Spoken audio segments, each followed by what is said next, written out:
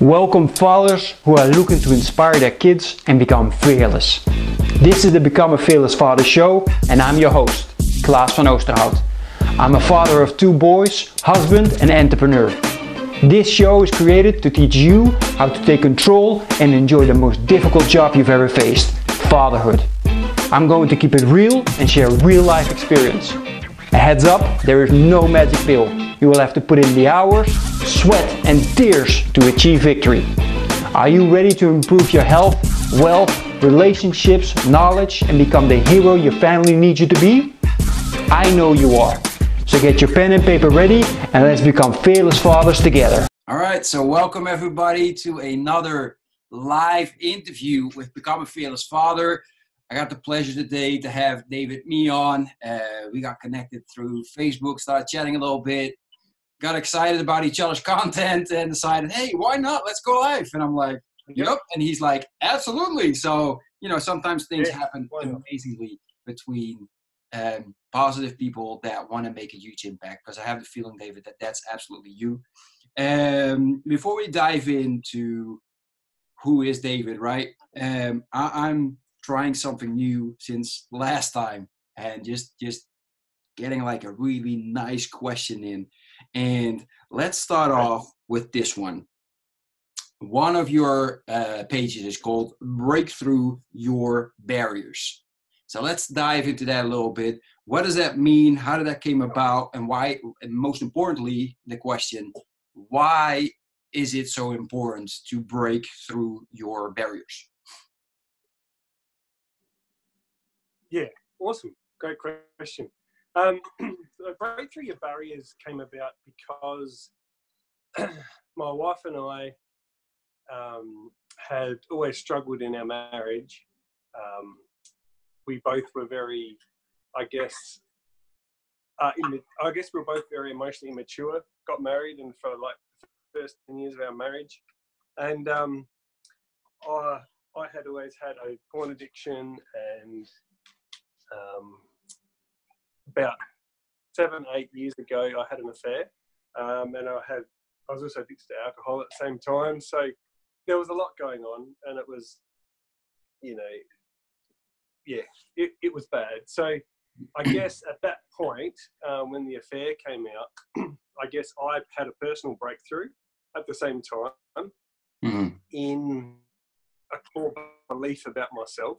Um, and I guess from that point, I didn't know, like, point, I didn't know that I'd had a had a breakthrough. I just I just felt this big shift inside me to do with self worth um, and how I viewed myself because I always had chronic lack of self worth. You know, no no, I wasn't valid, had no self worth. So. Mm. And so from that point, we began to rebuild and regrow. You know, so for the last seven years, it's been rebuilding our relationship and going through lots of other. I guess we had a lot of other breakthroughs as well.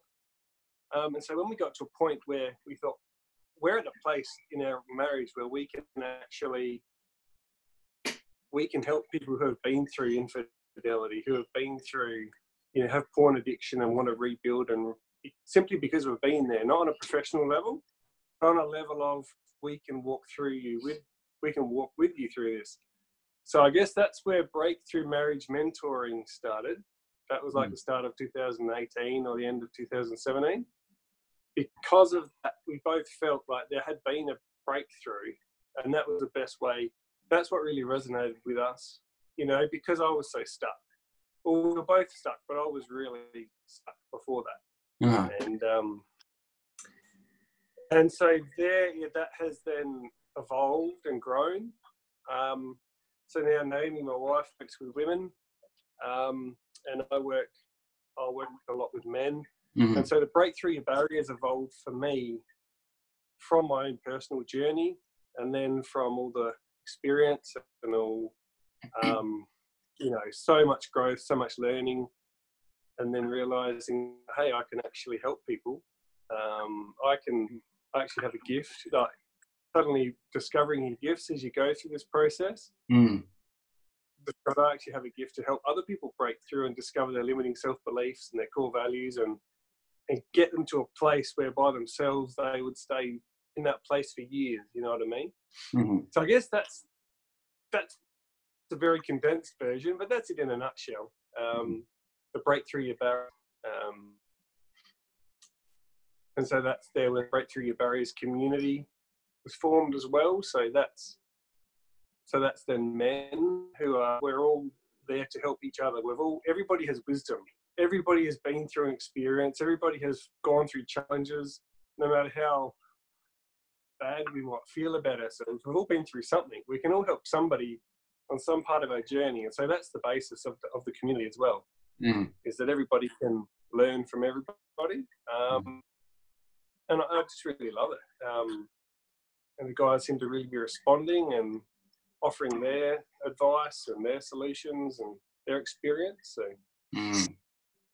That's nice. Yeah, that's that's something that's lacking. You know, a, a place or, or just just something where men can communicate because that's not innately taught to us by by our environment or our parents. We just need to be tough and suck it up, boy. Sorry about that. So great. I appreciate it, David. What we learned, or what I've learned so far from you, is that you're very open and honest. I mean, who would be willing to share immediately that they had and alcoholic problems and porn addiction and uh, you know uh, cheated on um, their wife so openly as you just did.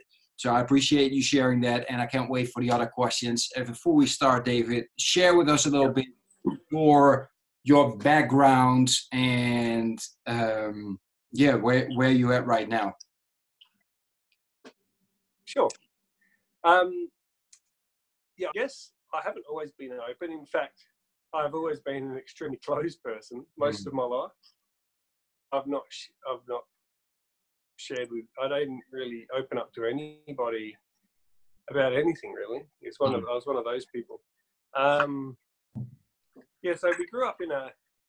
I was a the fourth the fourth child, last child, um, and five years between myself and my next older brother. So I I spent a lot of time by myself and kind of uh, I brought myself up in a lot of ways. Mm. Um, and you know, as being the, the last child is kind of you're there, and you know, it, it wasn't all bad, but just um, sure parents perhaps because they've already taught it for three other kids and gone through things. So I tended to get met a lot when it came to, I guess, proactive kind of uh, you know, emotional coping skills, all things that, that really help adults in, later in life, that sort of thing. Uh, I just somehow missed all of that, and um, so I got married and had a had a porn addiction from from very young. You know, I was always I could never really understand it, whether or not it's a personality thing or what the story was, but I was always very you know, attracted to sexuality, you know, from a very, very young age. So as soon as magazines and things became available and then the internet, it was a natural thing for me. Um, so yeah, the porn addiction was right from childhood and I never did break it um, right through our marriage. Um, I tried, not for lack of trying, mind you, um, like because we grew up in a very conservative Christian mm uh, house. So it was very, um, you know, this the sense of shame and guilt and the cycle of asking for forgiveness and then doing it again and this whole shame and guilt and on, on and on and on it went. Um, so that's kind of, you know, very loose ground. You know, teenagehood, I remember quite fondly as far as we were out in the country. So I got to do a lot of things with guys. Um, you know, out camp water skiing on the river nearby and that sort of thing. So that sort of things, I feel like I was really, you know, I, I did quite well in as a teenager. Um, but I guess on the social side of things, I was very, you know, I found it very hard to connect with people. Mm. Um, and I had this just this, so I, I still to this day don't know exactly why, but I always had this feeling that everybody thought I was a bit of an idiot that they would just be laughing at me after they'd talk to me. They'd be nice on the surface. I would just have, always have this feeling that people would just be kind of laughing at me when they turned away, or they'd make jokes about me behind my back, that sort of thing. Probably from schooling years, you know, very heavily bullied at school. So um, so th- I always had that all the way through, which kind of stops your social. You can't really engage, try to develop new deep friendships when you feel like everybody thinks you're um, you know, a bit of a joke. Mhm. Really, that's kind of like the feeling you, you had. I had. Um, so yeah, so we're from Australia, and we did some travelling around Australia, and um, that sort of thing. And as, as you know, as young young marrieds with only a couple of kids at that stage, and um, really opened our eyes. We we were very locked into the conservative Christian circles until we started traveling, and then we started chatting to other Christians and just experiencing life outside the bubble. It really started to open our eyes, and I think our journey of growth started during the year that we travelled around Australia, caravan, and um, we both, my wife and I, are both very. Well, I'm an ENFP and she's an INFP, INFJ, sorry, and those personality types are very growth focused naturally. So I would- I would always be reading self help books and I would always be trying to grow. Would always just hit a barrier and stop, you know. I Mhm. would always get to a point and like my emotional maturity was a I just couldn't I couldn't get through this this lack of self worth I had. It just killed everything dead until um yeah, until the affair was revealed. And then at that point um, it was in a discussion with a um, with an older gentleman who we actually had some respect for. He was our landlord at the time, and um, lovely, lovely Christian man. And in the discussion, there was nothing profound that he said, but he just said one sentence in it all that just something clicked deep, and it was just wow, like I, and it was affecting my my yeah, like I said before, my my self worth. I was able to not. I was able to then begin start breaking that cycle of shame. You know, that Mm. cycle of guilt and trying. Um, so yeah, that's that's yeah, and that's we've chatted about that.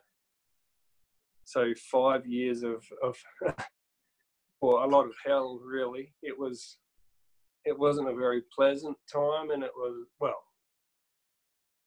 Looking back, you think how the heck periods in there where we would just wife and I would just get into bed at the end of the day and just think, wow, like how do we get through today? You know, because it wasn't just marriage building. Like we were, we our our beliefs had grown outgrown the, the Christian circle that we lived in. It was very the community was a very tight community. So working with my parents on the farm, you know, and everybody from my childhood was all um, of that same mind, those same thinking, same values, same traditions.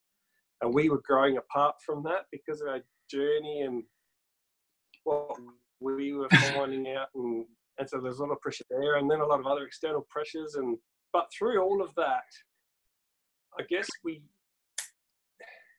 we just developed this real desire to help people from it because right from right within like a year of you know a rebuilding uh, people kept coming to our path who just you know just been revealed that they say the husband had an affair and they didn't have anybody to talk to and a friend told a friend who told a friend who said oh you, you know we're, we're and so that we got connected and we would chat and share experience and they, they'd really get help from just being able to talk to somebody who'd been through it Mhm. and who was willing to talk, you know. And um, I think that really fueled our desire to help people because, you know, your, your biggest challenges that you work through become your biggest passions. Well, it is that way for us. And um, it just kept growing. And as we slowly, slowly got more and more on top of our relationship, that desire just kept building and building until we couldn't kind of stop it anymore. We had to and um, and so we did, and, and then it's just grown and grown, and it's still growing, and it, I think it always will. You know, this is one of these lifelong enterprises, I suppose. Mm. Uh, help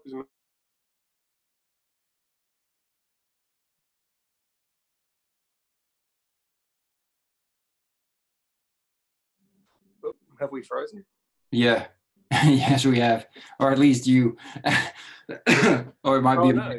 on, my end, and my internet's not good. I, I have no idea. But yeah, you froze up there for a second. That's quite all right. So you got five kids, right? Right now. Yes. Oh, that's that that's Yes. just amazing.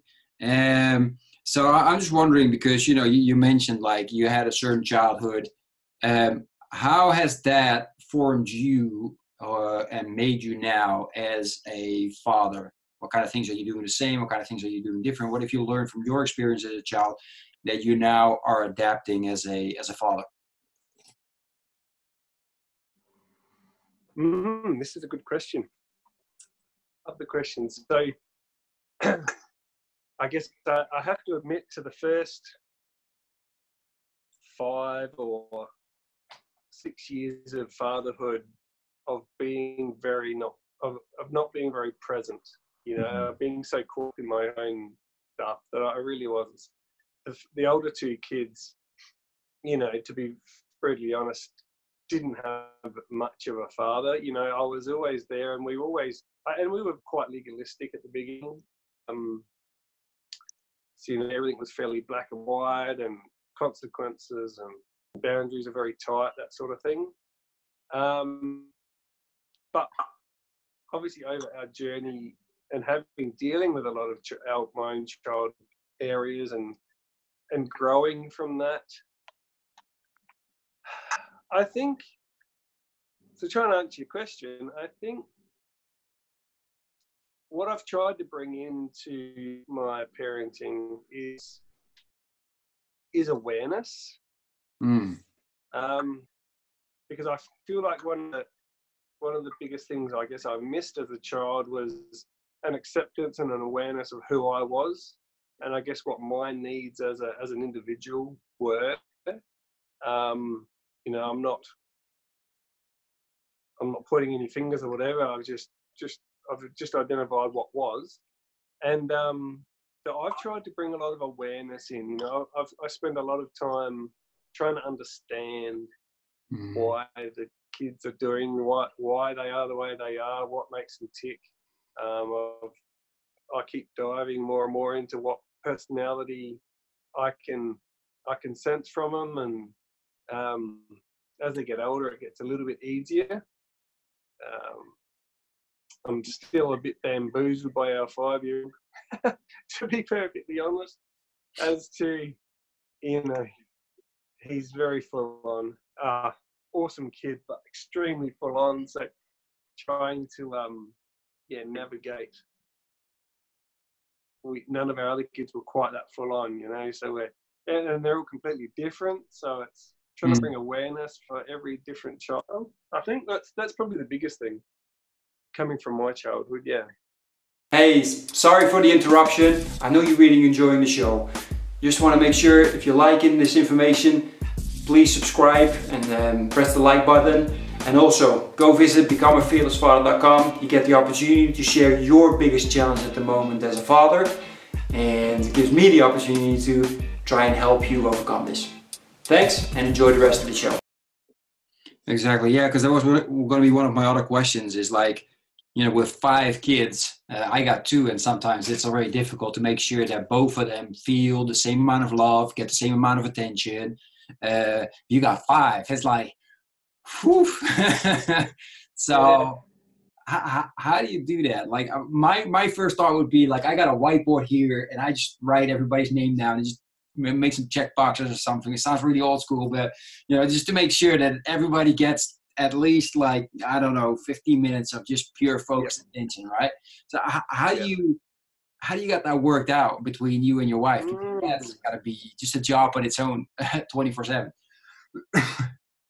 Well, it is. It is. I, I guess we're lucky in that sense. We there was a big gap between our first two Mm. and our third. So William is five and Ivana is twelve. So there's there's seven. There was seven years gap. So there's yeah, and then the others are then they're five and three. So there's Mm. Um, that kind of works. If they were all equally spread out, it, I think it would be a lot harder. Mm-hmm. Um, but I can kind of focus on the older two, and because there's enough gap, I can then focus on the younger three more as a yes, they need their individual time, but as as really younger kids, that it's not as much. Whereas the older two definitely need their individual focus.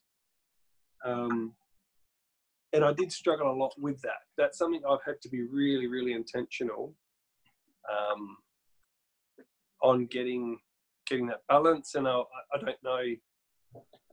Tom will only tell if I've got that right, and I'm forever Mm. trying to. And I, I've got nothing as as organised as a whiteboard or anything. Um, I guess my, I'm lucky in the sense my wife is very intuitive. Um, I Mm. call her the barometer. So I have to remember to ask her, like, how do you feel the children are as far as what they need and that sort of thing. And and when I have those conversations with her, because of her personality, she won't necessarily bring it up. But if I ask her, she'll tap into something and go, "Yeah, well, I feel like Michael will need this, and Ivana will need that, and um, the other kids will need this and this and this." Or she can kind of sense when things are getting a bit out of proportion, which is really, I guess that's what works for us. Is um, yeah, we're both, I guess, very intuitive as Mm. far as as that goes. Um, yeah, whereas if we were different personalities, then absolutely, you know, we'd need the whiteboard, we'd need far more structured. But I think it's working for us. Just, um, but it hasn't been natural for me to put the time aside. Like I could spend every valuable minute doing stuff Mm. and having you know especially working with a business owner i still work part-time in my trade and so life is very full Mhm. you know i could spend every available minute doing things you know but putting an hour aside here you know putting two hours aside here going oh you know this is this is more important right now um i think having done my core values actually i something that really helped me i'll be over a year ago now i'd never heard of core values as a thing and i stumbled across them and I did, the, did a core values exercise and it just really really resonated with me it put my three most important values in life very clear Mhm.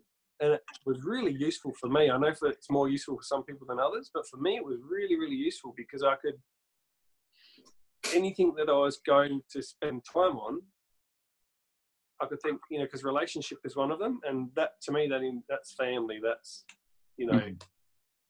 my wife. It's family. It's other relationships, quality time. All of that comes under relationship, and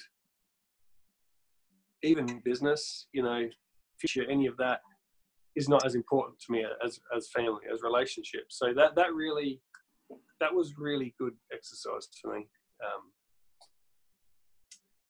and i think that really helped you know because we would find ourselves you know like a five year old was really challenging um, when he was say three and four he um, he would have a lot of trouble going to sleep at night, and we would have to sit in there with him. Um, and then he would get into a habit of it, um, and he's one of those kids who just will keep bouncing out. You know, no matter what you do, if you didn't know him, he'd just come and bounce out. And oh, and it, yeah, so you had to. And then, so then we get into a habit of that, and then the older kids would, you know, their their bit of time before they had to go to bed would suffer, and um, we, you know, that things like that would come up, and so then we'd have to really, we're gonna have to change something significantly, and so we'd have to try and rework his whole bedtime schedule. You know, try to get him if he'd had naps late, make sure that he only had them early, and you know, do all the things that would help him sleep. Um, transition him into the fact that you know we were just going to put him to bed and go out. You know, so over a like three week period, just kind of weaned him off it and he was at a point where that would happen and yeah you know there's all these sorts of challenges and things every parent has. yeah, exactly. Um, I, I gotta say, especially when you mentioned intention and intentionality, right? To be really intention, to focus on just what is most important to you. Now, I know you said core values. That's been a key for you, and maybe for somebody else, it's not. I think uh, core values is important for absolutely everybody. And the reason why I'm saying that is I have noticed a while back that when my kids would come in now, right, which they do often, uh, I would get upset. Like my first interviews, I would get upset. Like actually, my second interview, my son actually made a, a huge pile of shit on the floor in my office right before I had to go on, and I was just fuming, right? And yeah. that's where that where those core values come in in handy. What's just most important, which I think reduced my impatient. I'm very impatient person, and I'm I'm very high energetic. And if things don't go high energetic like I want to, then so having those core values really helped me to say, okay, yeah, you know, what's most important.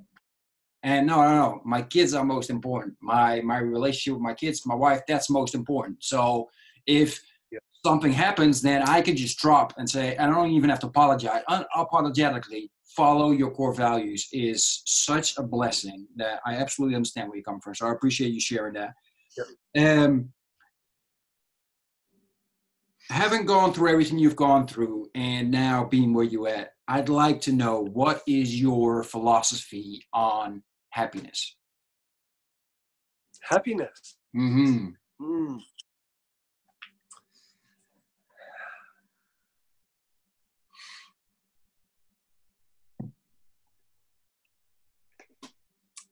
Um, happiness.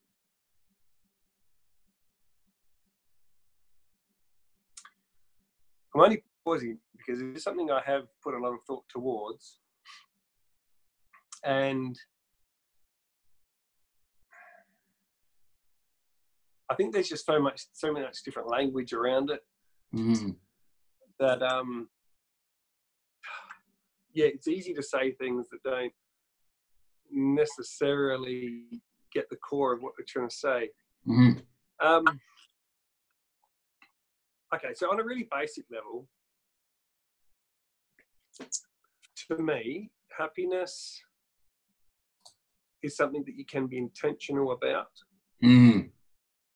Um, because I've been in a lot of my life just reacting to life. And sometimes I enjoy, was enjoying it, and sometimes I wasn't, you know. And having gone through five or six years of utter, incredible kind of non-stop stress, pressure, mm-hmm. um, no sleep, um, just un- unrelenting. Um,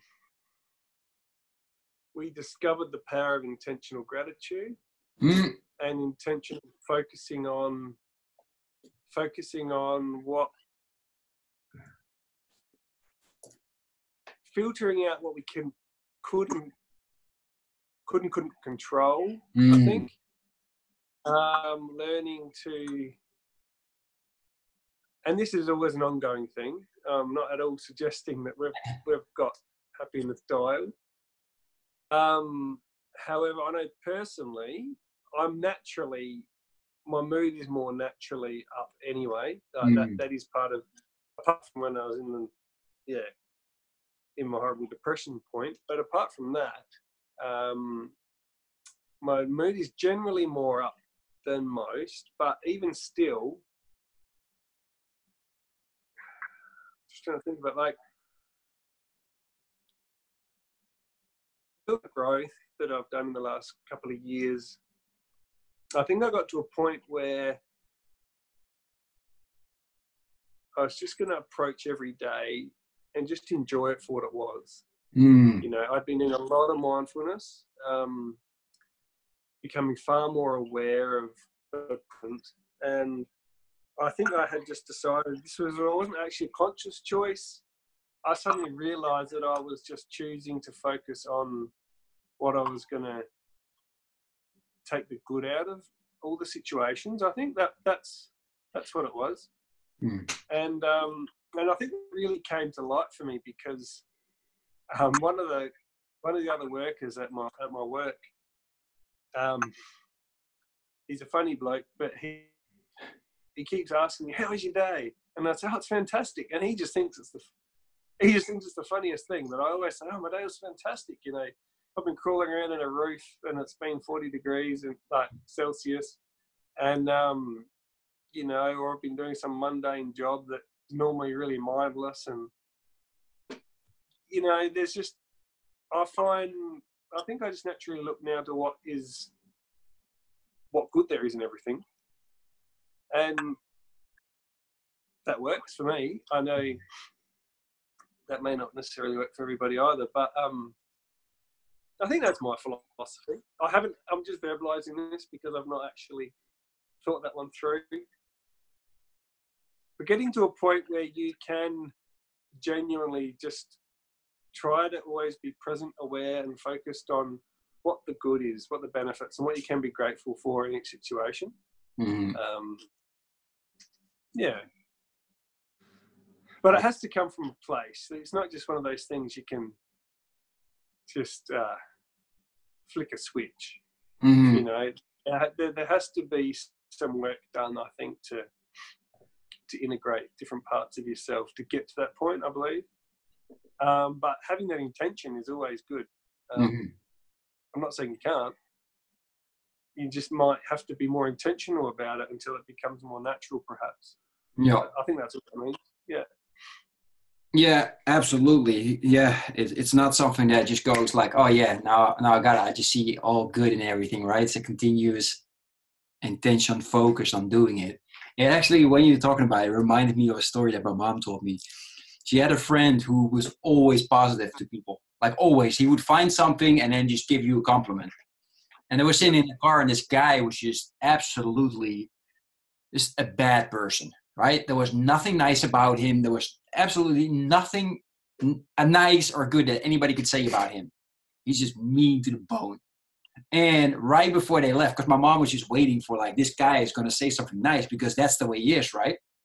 And at the end, he leaves and he asks, ah, "By the way, where are you from?" And he says the city. He says, "That's a very nice city," and then left. I'm like, "That's just awesome. That's you know, that's intention in in just making sure that you leave on a positive note, even like it was absolutely horrible." I thought of the story. I thought I'd share it real quick because I thought that fit real Yeah. well in what you mentioned, just being intentionally and finding the good Yes. in every situation. So uh, I really appreciate that. Sorry about that. So um, you you've been through, um, and I want to go to to in, in in regards to marriage. I want to go into a little bit deeper as well, but you've been through stuff which makes you very valuable and have a lot of experience and insights to share right what do you- or in your opinion is the role of a husband. Um, sorry, cat just jumped through the window. yeah, yeah, Um, you can join the role of a husband. That's interesting. I have my my view is, I guess, very very different to probably a lot of other people. Um, that's why i ask yeah, not only from the point of view that, and, and I know it's a personality thing. I know it is very much a personality thing of the NFPs to um, right and wrong is not something that resonates with me. Um, Mhm. it, it absolutes. I don't do absolutes. Um, try to pin me down to anything very specific. I mean, obviously, I do have very strong opinion, you know, thoughts on a lot of things, but I can see, I can see both sides of just about everything. Mhm. Um, well, as far as I'm aware, you know, um, there's obviously areas where I can't. Uh, we've all got our blind spots, but so when it comes to you know, say the role of a of a husband,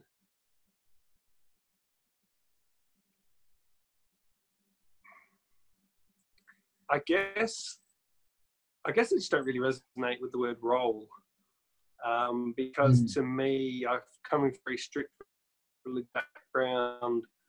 The role of a husband was always talked about. I very much disagree with most of it. Mhm. Um, but perhaps that's just my personal view of not having good experience with that. But I, what it, to me, what it is, as a husband, I feel like the only real role is to try to grow to be your most, I don't like using the word authentic either, the most you you can be. So to be the the best version of myself, Mhm. so that I can just show up as myself, and that is a good thing, as opposed to how I always did show up as myself. That was generally a negative thing in our relationship, um, you know, because of immaturity. So um, I guess I'm talking about growing in maturity, but at the same time, a lot of people, and myself included, I had very low self worth. I wasn't. I didn't see myself as valuable. So that inhibited me from showing up. That inhibited me from taking action when I should have. You know, that inhibited me from pursuing connection when I should have. Um, so there's a, a line between going on, a, on an emotional maturity growth path and learning who you are and growing into who you really are, not what's expected of you, as far as not what other people are putting on you, rather. Mhm. So then, so then the role from there is that you can just engage in life and in your marriage and in your relationship from that from that place and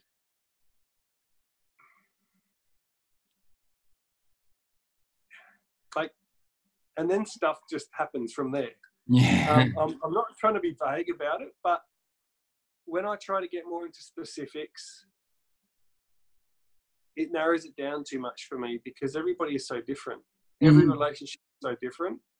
Um, and typical, you know, for instance, okay, so Western culture, Western society, we have a very, bi- in my view, we have a very strong bias towards a certain type of, say, masculinity what a Mhm. man looks like, Mhm. which is very much action, physical orientated.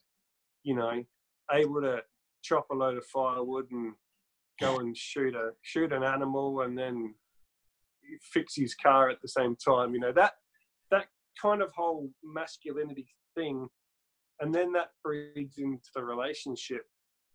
There's there's like this. I guess it's breaking down more with how it is multicultural goes, but still there's these kind of expectations and cultures around Western society. And if you go to other countries, it's completely different. Mhm. African nations, it's completely different. In Japan, it's completely different. You know, in European countries, that whole. Um, so the role, I feel like, is whatever, whatever is the most truest version of you, Mhm. and then also for your wife. If you can actually show up as that to your best of your ability, then you won't need to try to fit into society, what society says as roles and what is masculine and feminine, and because because that will work for you. You Mhm. know, you might not, you might be more of an intuitive thinker type of person, academic, who isn't can't take that strong, you know, I'm gonna set rules and I'm going to um, make everything happen. You might be somebody who just influences Mhm. more than than direct. You know what I mean? Like, Yep. But the, the point is, I think I'm taking a long way around of saying it. I think the point is, is that you can become confident in who you are Mhm. and how you do show up in your in your relationship. I think the point is is that I guess your role, Mark, the role is to become confident in yourself. Because whatever you do become confident in, and that does work in your relationship dynamics, then that's right for your relationship. Mm. Um, not as opposed to being unsure, you know, and then that leads to not being intentional, and that leads to conflict because you know, and then so it goes. Yeah. Mhm. Yeah. Um, I just want to mention as well, when I was writing this, well, just a short thing of the question, I was thinking like, okay, am I going to talk about role or am I just going to ask what makes a good husband? I should have gone with the second one. But as No, no, it was good. interviewer, Had discussion. yeah, no, no, no. But sometimes I just, you know, as an interviewee you, or as an interviewer, you can also put a little blame on yourself if something doesn't come out the way it should because sometimes you don't ask the question as right as it should be. In this case, absolutely, I should have gone with the other one. I realized it too late. So, uh, but you you explained it very well. The two things that I picked up that I really like is, you know, you focus on yourself, you make yourself grow to become the best that you can be. But one of the things, and it it slips in there every single time, and I really like that. It slipped in there when you were talking about the kids, and it slips in there now again as you talk about being a husband, and that is understanding. Try to understand the other person, and that is absolute key, and not very often thought of. And I, I read the book Curious uh, uh, a week, two weeks ago, and that was also one of the things. You just have to try and understand. And it also came up again in the book uh, The Seven Habits of Stephen Covey, where he says, you know, you cannot come to if you are both in an argument, you cannot come to a situation where you both win if you do not understand or try to understand the other person's view. So um, I just wanted to iterate a little bit on that. So I hope that people pick that up because that is Absolutely. and something I I am working on very hard. I have noticed lately that those are in our house because of that. So I appreciate you mentioning that because it's absolutely key. Um, Yeah. I apologize. Sorry, people. The throat just does not like me at all. Um, so everything you've been through, you must have some. Man, I'm starting to really dislike the word secrets for some reason, but some tips, some things that can really help us um, to to make and keep a marriage going. Because I actually I, I speak lately. I seem to speak often about this topic because I just keep hearing of that one got divorced, that one got divorced. Uh, I'm not even talking about all the famous couples that we see, right? It's like they're married one moment and they're like divorced the next, right? There's no consistency in let's go from like we get married until we just grow old. Man, Yeah. you've guys been through a lot, so you must have some really nice tips of you know how how do you continue to fight to make your marriage work. Hmm. Yes, you're right. There is a lot in there. Um, to try to pull out a few points, I suppose. Let's see. What's some of the more important ones? Um,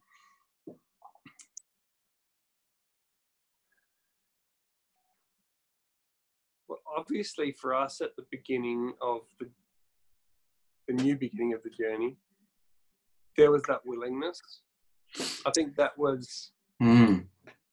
which, to be fair, most couples have that willingness, you know, until you don't anymore. Um, so we had,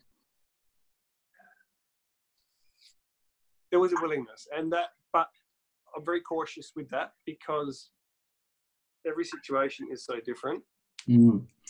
I'm not trying to put that on anybody else. You know, if if it's a really bad situation, it's very contextual. Like, I don't have a specific view that everybody should necessarily try to stay together. You know, if there is if there's really really unhealthy dynamics and it's and somebody is going to keep getting hurt if you stay together, you know. But so, but aside from that, like let's just say couples that haven't gone through you know something really big, but are just just clashing all the time. You know, you know, growing apart, or there's just always conflict, um, which then can lead to things like affairs or um, even what you might call emotional affairs, which are still just as dramatic, but nothing. So then it all adds to the, you know, to, to the whole mix. So yes, there, there definitely has to be a willingness for it to continue. That is the first one. And then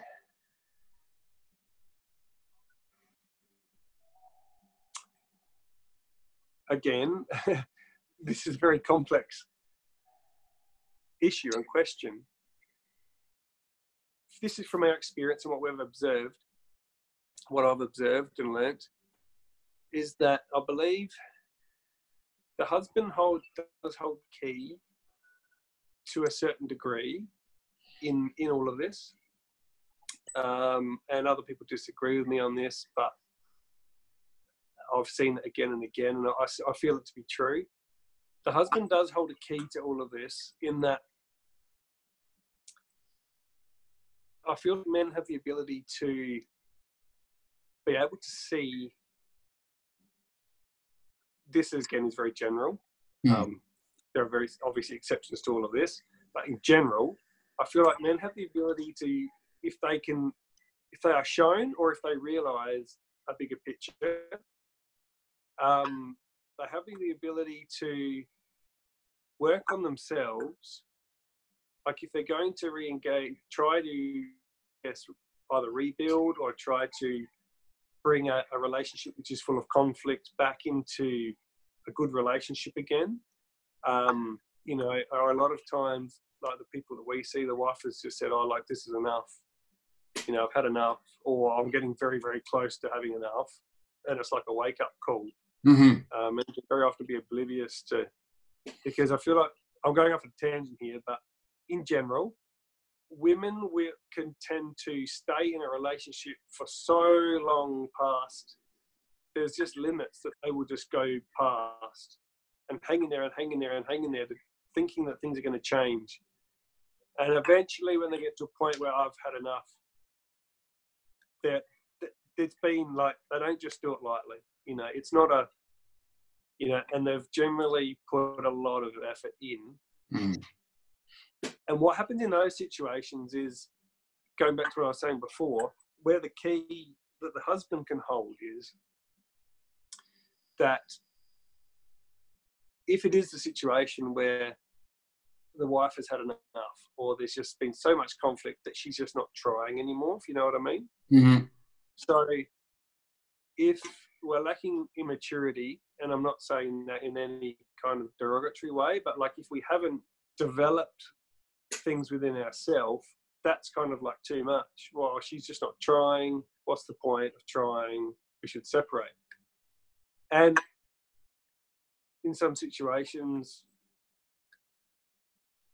you know, you, I can't say, you know, sometimes that may be necessary, but if, if it is a case of wanting to make it all work,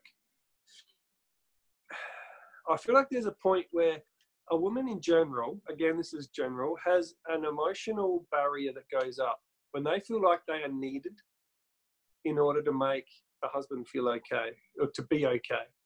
Mm. So I guess this is coming from a husband's point of view because that's who I work with and I work with the men and that. So a lot of the times when we haven't developed our own maturity, you know, we haven't got our childhood issues sorted out, we actually end up trying to get needs met from our wife on a conscious or subconscious level.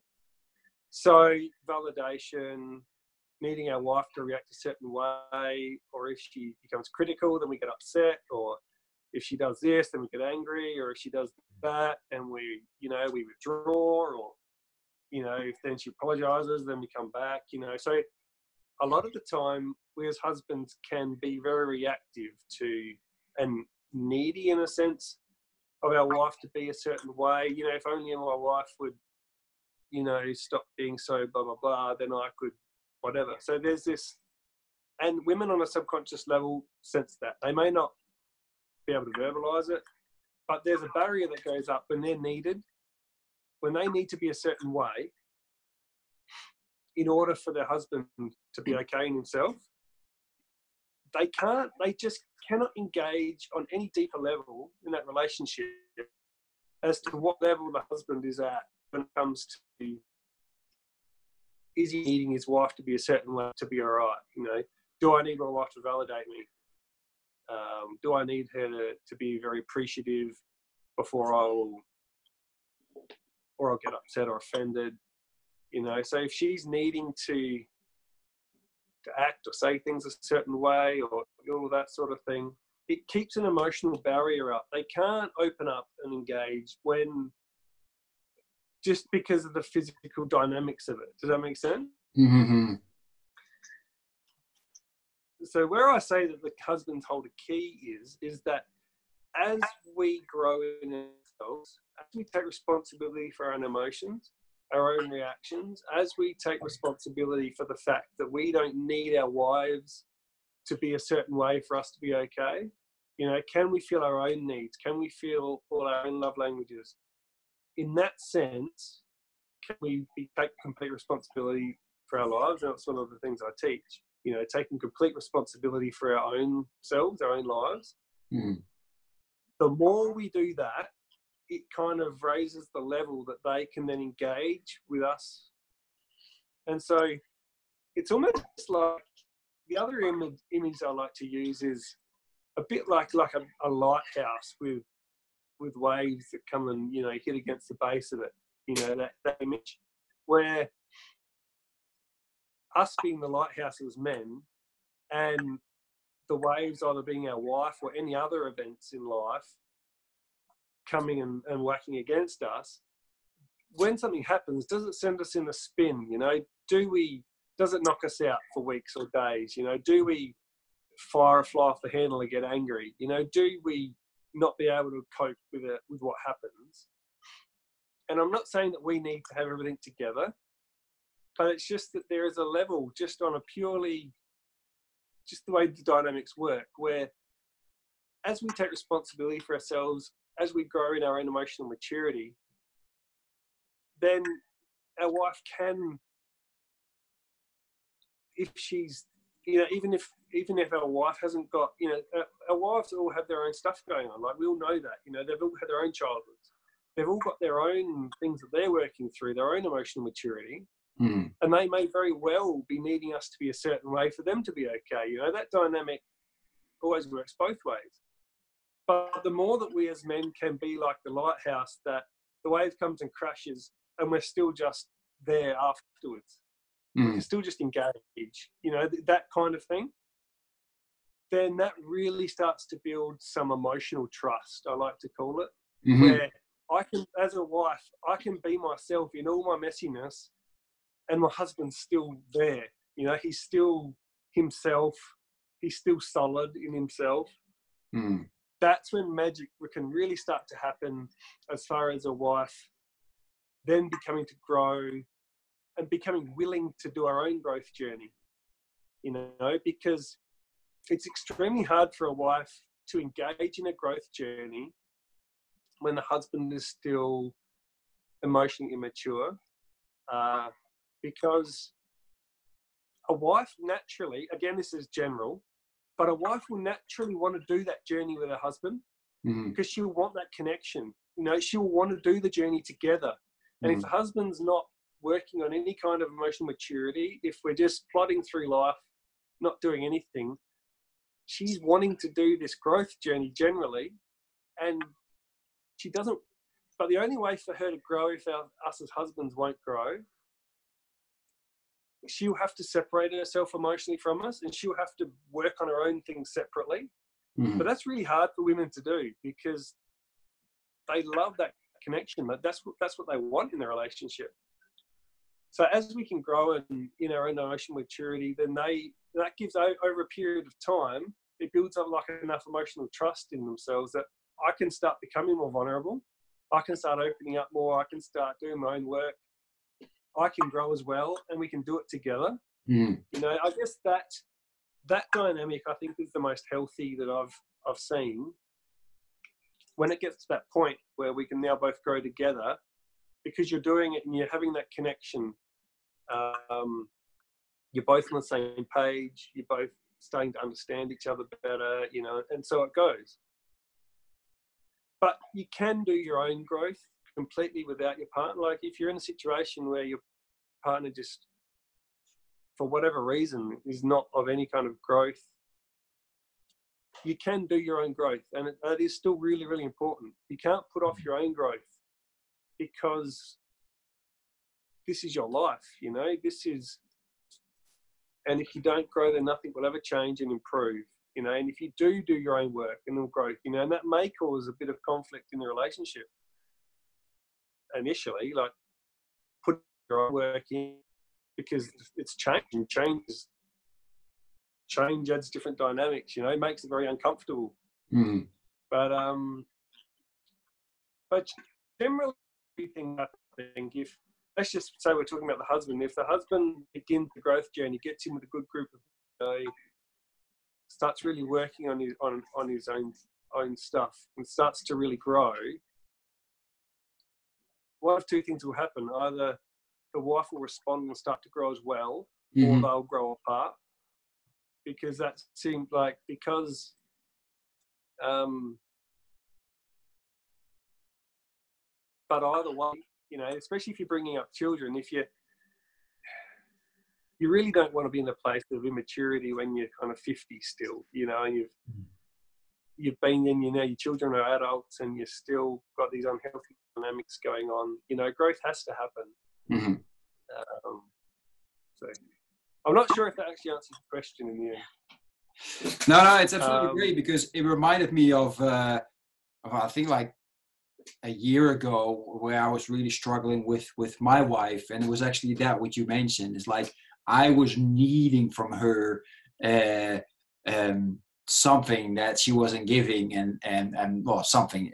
I wanted sex a lot of times, and she wasn't giving it to me. And in my head, that was like, okay, she's not she's not kissing me, she's not hugging me right now, so she doesn't love me. And that just, you know, and then makes you angry and blah blah blah. And and that's or at least from what I've understood, that's that's what you're talking about. And now that I am on my my own growth journey, now it doesn't bother me anymore, and we actually have more sex than we did before. So um, don't know how that works, but hey, it's working. So now everybody's happy. But if it doesn't happen, then I'm okay with it now as well, right? So I think if I understood you correctly, that's what you're talking about.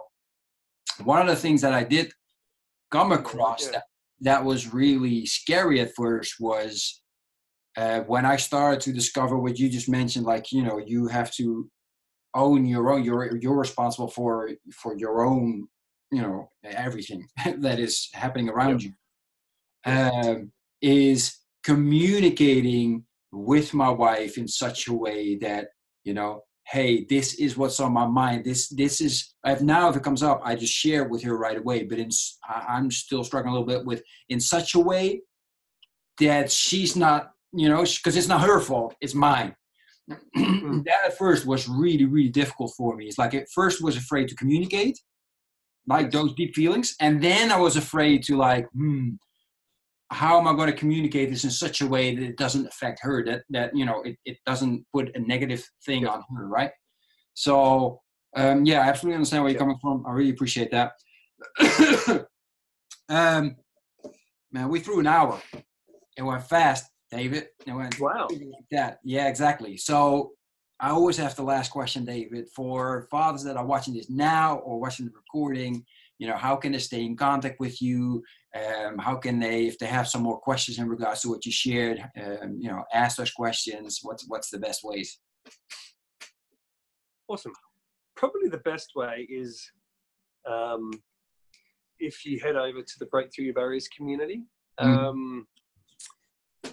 and i'm always in there in the group and if you've got questions it's ideal because everybody else gets to benefit as well. Mm. However, I guess if it's something fairly a bit more personal, then um, you know I'm always available on on the messenger, uh, you know, Facebook Messenger to you know, some initial conversations for sure. You know, and then if if if you're really desperate and you really want some help, then absolutely yes, I, I do do one-on-one work. Um, mm-hmm.